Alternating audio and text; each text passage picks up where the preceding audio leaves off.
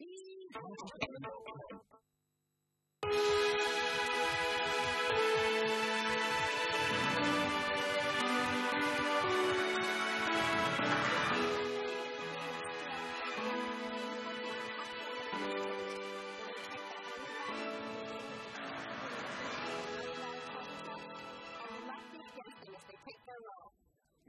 tell me if you know anything about your opponent in this round. I don't. I've been trying to find out, but nobody knows him. I consider a very good sign. I think he's Scandinavian, maybe from Denmark. Uh, but I wasn't able to find anyone from Denmark to ask. And I'm not sure they want to tell me anything about his game anyway. They're probably all rooting for him. Lasse, tell me if you know anything about your opponent. Yeah, I've, I've, um, I've noticed that Shannon and I uh, one video tournament uh, a few years ago. Do you uh, have any different strategies this round from previous rounds? Uh, no, not really. I'm just trying to play my best game and uh, hope for a of luck. Played on board consisting of 24 narrow triangles called The board is divided into four quadrants, each player's home and away. These are separated from each other by a ridge down the center called the bar.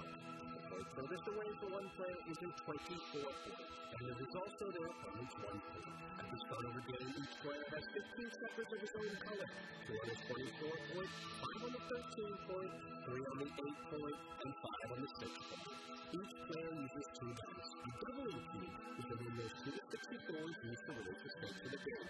The object of the game is to bear all your checkers off before your opponent. They cannot start to do this until all checkers are in their own The minimum number of pips that a player must play to take off all 15 checkers. One, to move a back checker into the outfield. Two, accepting the cube offered by the opponent, thereby agreeing to double the number of picks taken on your opponent. To decline the cube offered by the opponent, thereby conceding the cube with a doubling the This is a semi-final between Lasse Madsen and Matt Ballard. The loser of this match is guaranteed $60,000, but what they're really playing for is a place in the final.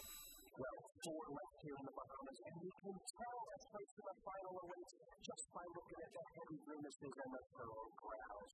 What matchups we have. Will be a German on one side, but who between the very established Ralph Jonas and the up-and-coming Martin? And on the other side, a real David and Goliath story between the giant Matt Ballard and the internet qualifier, the game likes the Madsen. But who would triumph? Well, is still like a back We're coming in well into the semifinal match. Madsen's led the entire way in the 21-point match. The current score is 18 to 15. Ballard has cut the lead to 18 to 15 to make it very exciting. This game is shaping up to be really on a knife's edge which way it goes. 4 2. Two players make an extra point inboard or make the uh, nine point, putting an effective six block. I, I, must admit, I prefer instinctively the uh, the block on the uh, Ballard's men on the three point, but certainly worthy of consideration. What Ballard's thinking about now is doubling. As you can see from the graphic, he's about a two to one favorite to win this game. He's doubled. What do you think, Julian? I think this is a take. He's got a very playable position. It's a position that could go wrong, and certainly um, uh, from from Madsen's position, uh, the cube looks very interesting. His score. And Well- taking a double is uh, the end of the match. He's taken it. Now it's up to Ballard to try to improve his position. He rolls 3 2, which really doesn't do much of anything. Ballard basically passes with the play. Double four, double fortunate. Madsen could not have thrown anything better, establishing a five-point anchor and moving all the way down to re-establish that nine point that I felt he should have made a couple of moves ago. Well, he's got it now, and he's basically neutralized the game. The game is, is goes either way now. Ballard has rolled 4 2, but thanks to the anchor that Madsen has made, it's very difficult for Ballard to make progress. There's really not much he can do. Probably hitting loose in the two point is, is all that's available. Yes, he has the, uh, the the relative safety of the three point as some degree of insurance against a, a bad sequence here. Madsen rolls 6 2, which hits, but he has no good six. Rather than destroy his blockade by breaking his eight point, slotting the five point is clearly indicated. It looks crazy, but it's, it's the best play. There's no other good option. And once again, Madsen also has that insurance policy of his opponent's five point, so he can weather a, uh, a series of hits. Well, Ballard has failed to hit, and this is crucial. The, the, the game is easing toward Madsen's direction. Ballard has no constructive play. He basically, once again, just buys time and hopes for something better in the future. Now, Madsen really needs to close his five point if possible. And that's a 2 6, so he, he takes the hit. Right, he can't he can't close his five point, but fortunately he can hit that one lone blot on the midpoint. Now it's back to Ballard. Ballard desperately needs a five. Without a five here, he's in trouble. Not only did he fail to roll the five, he rolled one of the nine numbers that failed to enter from the bar. The advantage in initiative is clearly with Madsen now. Double ones. This is an excellent shot. It closes the five point.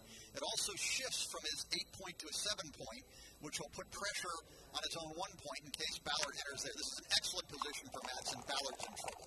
You can see the percentage uh, reflect now the significant swing of the game from Ballard, who cubed earlier on, to Madsen, who's now looking like a 3 to 1 favourite to win this game. Ace deuce for Ballard's a tricky play. He can come in with the ace and then just step forward, or he can come in with the ace and hit. He's chosen to hit. This this leads to more complications, but I'm not sure it's the better play. It's a difficult one. If he hit, is hit on the two point, he can re-establish himself on the one, improving timing. I think he's hedging his bets, allowing two different ways of, of winning the game. And Madsen came back with 2-6, put Ballard on the bar, and brought a builder in. Ballard is once again under great pressure to roll a one, but he stays out again. Yeah, Madsen, we're thinking